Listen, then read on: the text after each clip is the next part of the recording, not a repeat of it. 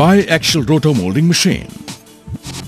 This machine is called three fixed arm biaxial machine, having a movable oven with turret with three fixed arms, which has two straight arms and one offset arm.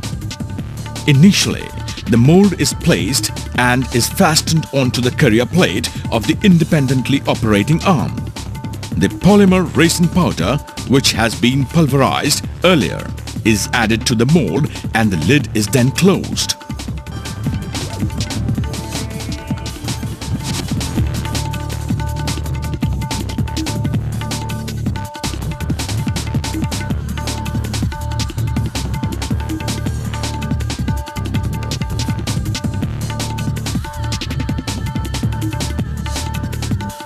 As soon as the door of the oven gets shut, the burner starts with the mold processing.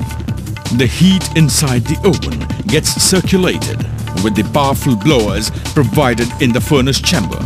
The mold rotates biaxially to spread the polymer resin powder uniformly and becomes molten to fill in the hollow parts inside.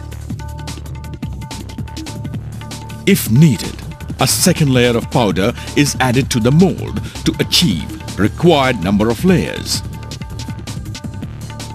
After the powder gets fully molten, the mold is taken out and is placed in the cooling chamber.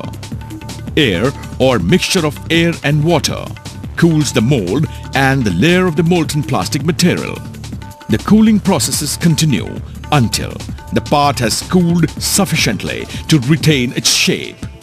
Soon after cooling is complete, the article is removed from the mold. Now the article is ready to use.